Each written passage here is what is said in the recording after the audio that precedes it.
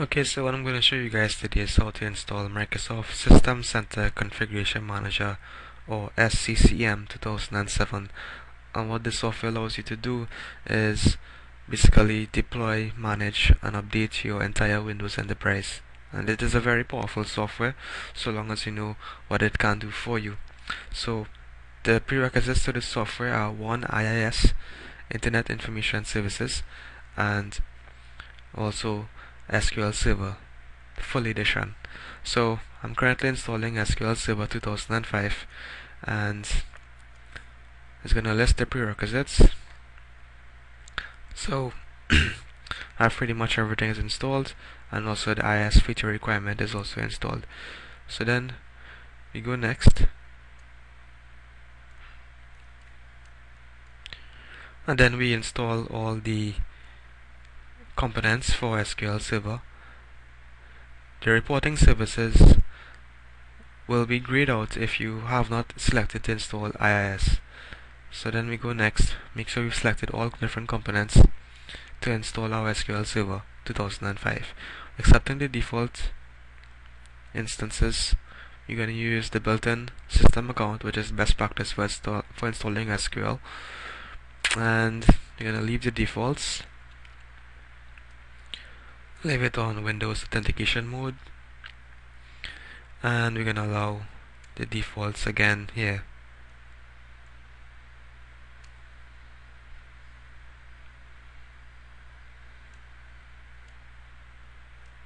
So let's review all components including the workstation tools and we go ahead and install. So if you go to the Microsoft website you're gonna notice that there's a lot of information that is available on SQL Server to, sorry SMS 2007 and there's a lot of tutorials there's trials there's live trial runs as well. So I'm going to pause this video until we've installed SQL Server 2005 and when that is completed we can go ahead and install Microsoft SMS 2007 Okay, so we've just installed SQL Server 2005 and rebooted the computer and now we run the prerequisite checker for SCCM. So we're going to install it on our primary site and we're going to use our computer name as the SQL Server.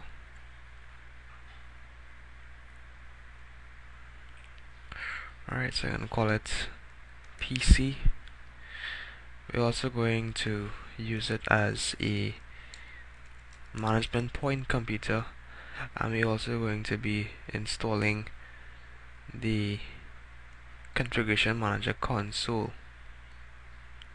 which maybe later on. So we're going to select OK. The SMS provider is going to be the current PC as well. So here are some prerequisites here that have not passed and we're going to go through them one by one. So the first thing is that we need to have schema extensions. So Configuration Manager AD schema extensions are not required for site server installation but are recommended to fully support. So that's the first check that we need to make. So the second one is the WMI service may stop responding on Configuration Manager with .NET 2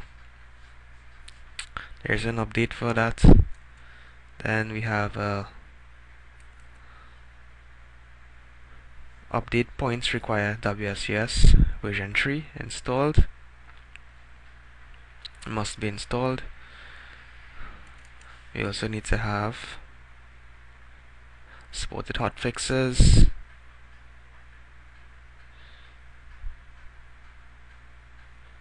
some other softwares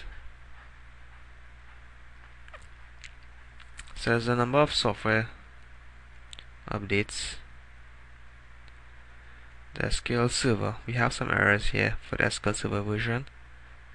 Service, Service Pack 2 is also needed. We also need to install Bits, which is a, a control panel add remove programs add-on. And we also need to have WebDAV enabled. So in a separate video we're going to go through all these different prerequisites and show you how to configure them.